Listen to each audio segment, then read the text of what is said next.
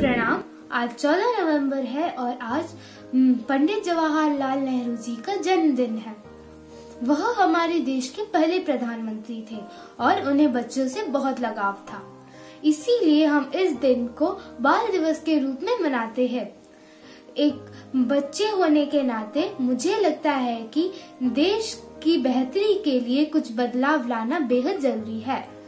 अगर मैं इस देश की प्रधानमंत्री होती तो मैं निष्ठा पूर्वक अपना काम करती और देश की तरक्की के लिए प्रयास करती। देश में बदलाव लाने के लिए सबसे पहले मैं अपने देश का एक मज़बूत और स्वाभिमानी राष्ट्र बनाने के लिए स्तर, अपने स्तर पर सर्वश्रेष्ठ प्रयास करती।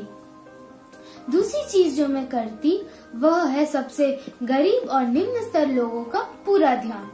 मैं गाँव और दूर दराज इलाकों में रहने वालों के लिए बिजली, पानी, शिक्षा आदि जैसे आवश्यक वस्तुओं का आपूर्ति करने का प्रयास करती, क्योंकि भारत को गाँव का देश कहा जाता है।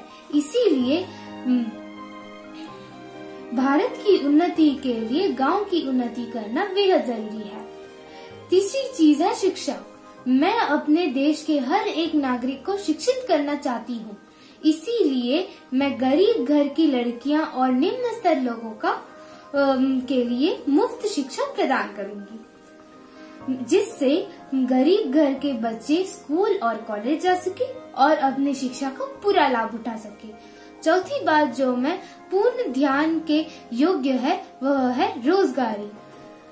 मैं कृषि उद्योग लघु उत्पादन खनन जैसे आदि महत्वपूर्ण और उत्पादक क्षेत्रों का भी ध्यान रखूँगी। लोगों को आत्मनिर्भर बनाने के लिए प्रशिक्षण केंद्र स्थापना करूँगी। जहाँ वे अपने रुचि के विषयों पर प्रशिक्षण ले सके। समाज में कई तरह की बुराइयाँ देखने को मिलती है, जैसे आतंकवाद, सांप्रदायिकता, नशीली दवाओं का सेवन नारियों के प्रति अत्याचार, भ्रष्टाचार आदि जैसे बुराइयों को जड़ से उखाड़ने के लिए मैं ठोस कदम उठाऊँगी। मैं चाहती हूँ कि सभी भारतवासी और सभ्यता, संस्कृति और आत्म गौरव के प्रति श्रद्धा की भावना रखें। मैं यह भी चाहूँगी कि मेरे देश धन धान्य ज्ञान विज्ञान में पूर्ण समृद्ध हो। उम्मीद है मैंने अपने नए भारत के लिए जो सपना देखा है वह मैं पूर्ण कर, करने के लिए मेरे भारतवासी मेरा पूरा सहयोग दे। जय हिंद जय भारत। धन्यवाद।